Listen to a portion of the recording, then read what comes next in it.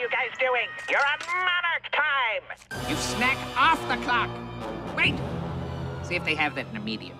That's hilarious. Honey, have you seen Tim, Tom, and Kevin? Your murderous moppets? I set them out on a, a thing. Monarch, you're not arching Dr. Venture in there, are you? What? No, no, no, sweetie. This is this is reconnaissance work. Pre- preemptive arching. Isn't that just arching? Or maybe if you retarded it. Man, oh manatee!